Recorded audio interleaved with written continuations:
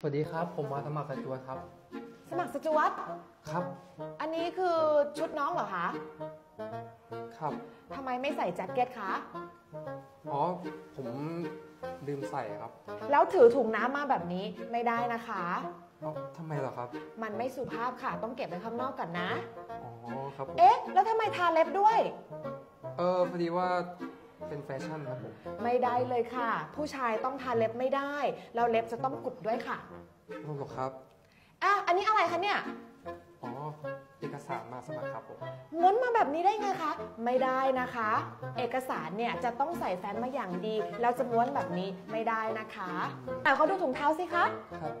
อะไม่มีถุงเท้าแบบนี้ไม่ได้นะคะ แต่แต่ว่ามันไม่เห็นนะครับไม่ได้ค่ะ ไม่เห็นก็ต้องใส่ถุงเท้า เพราะว่าเวลาเรานั่งมันก็จะเห็นขาอยู่ดีค่ะรู้หรอครับ ค่ะและนี่แจ็คเก็ตจะมาพาดแบบนี้ไม่ได้ ต้องใส่แจ็คเก็ตนะคะ อ๋อเหรอครับ เห็นข้างในร้อนไงครับเลยถอดออกไม่ได้เลยค่ะ เราต้องใส่แล้วก็ผูกเนคไทด้วย และที่สำคัญอ๋อเสื้อ เราจะมาเป็นกระดุมติดแบบนี้ไม่ได้ เราจะต้องติดแบบนี้ปิดจนถึงคอเลยนะคะอืมเหรอครับวันหลังจำไว้นะ มาสมัครสจวตต้องปรับหมดเลยนะคะ เรื่อง grooming สำคัญมากๆเลย ครับผมขอบคุณมากครับเฮ้ยไหว้แบบนี้ไม่ได้นะคะ อ๋อเหรอครับ ต้องต้องไหวขอบคุณมากครับ ไม่ใช่เอาวางของก่อนนะอ่า ถูกต้องกระเป๋าด้วยไหมครับ เอากระเป๋าวางก่อนนะเอาพนมมือนะคะ แล้วก็ให้ปลายนิ้วชี้อยู่ที่ปลายจมูก